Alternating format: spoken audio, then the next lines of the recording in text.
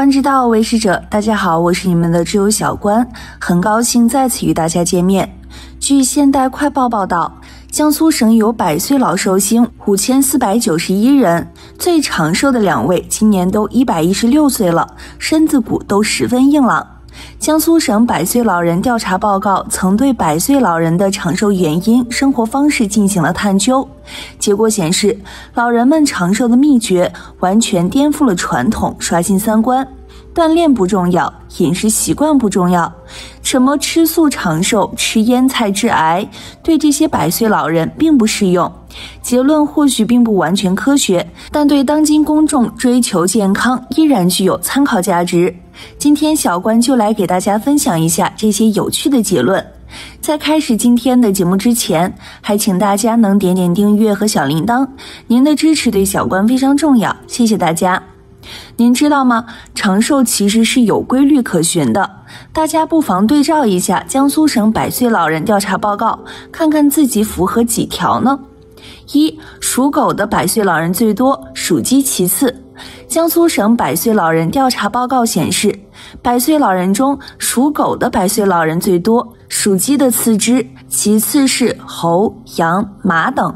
这份调查是在二零一零年进行的，从出生年代与属相的对应关系看，倒推一百年后，正好是一九一零年属狗的出生，年龄最小，按常理，百岁老人也应该很多。二，百岁奶奶是爷爷的近四倍。从性别来看，男寿星只占女寿星的四分之一，也就是说，女性相对来说更容易长寿。这与男女的正常寿命趋势一致，但也进一步体现出，随着年龄的增长，男性的死亡率越来越高于女性，到百岁以上的年龄段更为明显。从调查看，一百一十岁以上的九位寿星全是女的，男寿星最高年龄是一百零九岁，而一百零九岁的女寿星则有十二位。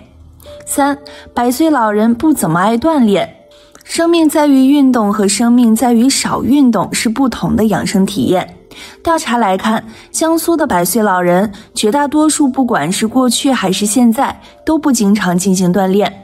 这与当下退休人员热火朝天的晨练或晚练似乎背道而驰，但是请不要把这误解当为运动无用，因为这些百岁老人们其实运动量很大。老年人相对来说所需运动量并不是很大，对这些年纪的人来说，日常走走逛逛、养花浇水等活动就已经是有效运动了。四。家中老大往往最长寿。总体来看，在江苏省的百岁寿星中，即便排除独生子女，家中老大也是最长寿的。其次是家中老二，再次是家中老三。五长寿也能代代相传。平时人们会发现，哪家出一个百岁寿星，哪一家的人也大多长寿。这次的调查就证明了这一点。百岁老人的母亲寿龄大于八十岁的占百分之六十五以上，父亲寿龄大于八十岁的占百分之七十以上，外公外婆寿龄九十以上的占百分之十六点一。爷爷奶奶寿龄大于九十岁的占百分之十三点八，都高于正常人群，说明长寿与上辈的寿龄有一定关系。而且还发现，百岁寿星血缘关系以外的家庭成员，甚至领养的子女寿龄也比较高。除了家庭文化、生活习惯、相处氛围外，还有什么其他因素，仍是一个谜。六想得开是长寿的重要因素。人的寿命受经济、医疗、社会和自然环境等基本因素的影响，但也与个人的性格、饮食、活动、遗传、家庭等关系很大。调查显示，江苏百岁老人的经济和身体状况不如一般人，但他们的生活满意度和快乐感都比一般人高。此外，大多数百岁老人特别自信，自己的事情自己说了算，但并不固执，善于听取家人的意见，表明他们的人生态度十分宽容。如果人心胸豁达，性格乐观开朗，神经内分泌调节系统会处于最佳的水平，免疫功能也处于正常状态，大脑就会分泌多巴胺等异性激素，让人心绪放松，使人体各机能互相协调平衡，更易于健康长寿。以上就是江苏省百岁老人调查报告中得到的一些有趣结论。除了这些，在百岁老人的所有长寿密码中，饮食是最受关注的一项内容。如果没有长寿基因，通过调整饮食还是能逆袭的。剖析江苏百岁老人的饮食习惯，可以为我们寻找长寿之道提供许多有意义的线索。欢度百岁，江苏长寿老人风采一书的编者指出，考察江苏百岁老人的食谱后，发现有一个共同点，那就是吃出来的长寿。一九成老寿星喜欢吃豆制品，饮食直接关系到健康。现代养生观念认为，应该拒绝烟酒，多吃素，少吃荤菜和腌制食物。因为腌菜更容易致癌，同时鼓励平时多喝茶，认为喝茶比喝白开水对保健养生的益处更大。但从对百岁老人的调查看，只有烟酒这一点吻合。江苏的百岁老人主食是杂粮、米和面粉，近八成的百岁老人每天主食能吃四到七两。至于水果，天天吃的百岁老人还不到四分之一。有时吃的占近一半，还有近四分之一则很少吃，这表明水果对长寿的影响并不大。关于蔬菜，每天吃两三种的百岁老人占百分之八十五，但多数老人常吃肉、鱼、蛋和腌菜，百分之九十以上经常吃豆制品，喝水在平时是少不了的。调查来看，七成多的百岁老人喜欢喝水，他们大多有早晨起来喝水的习惯，而且近九成老人常喝的是白开水，只有约八分之一的老人平时喝茶。二，换着法子喝粥，特别爱粥油。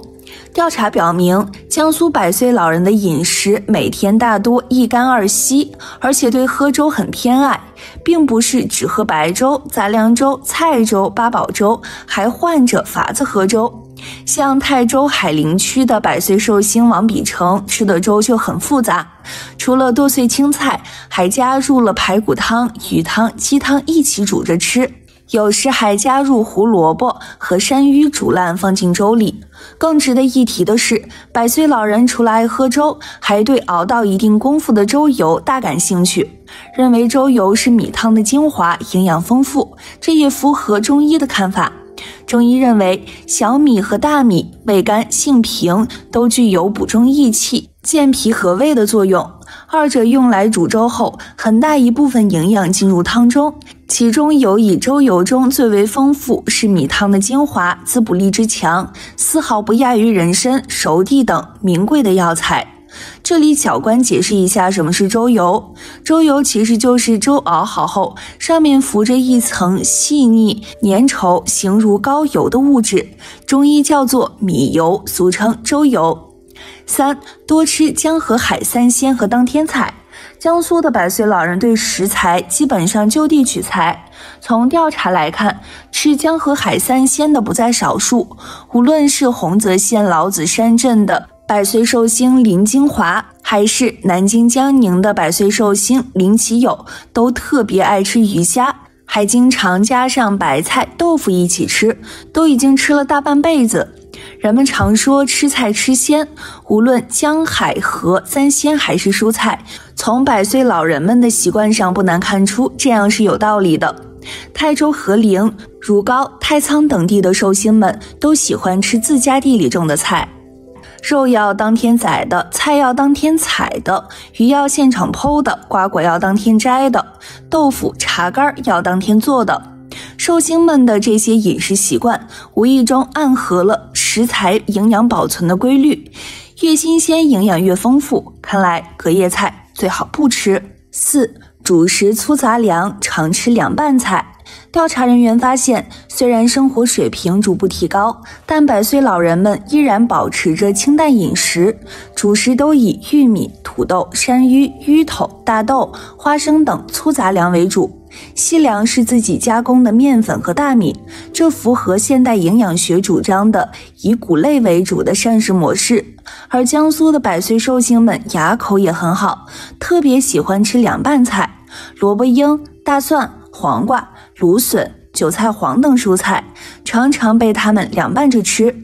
这样恰好保留了蔬菜的新鲜和营养，尤其是各种各样的酶，生吃时保留了酶的活性，能更好的促进身体吸收，同时驱除体内的有毒物质。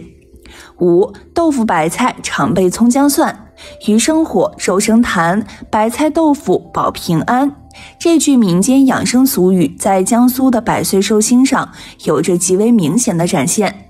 调查表明，越到老年，寿星们吃的白菜就越多，而白菜对老年人养胃、利肠、降脂、防癌有着独特的作用。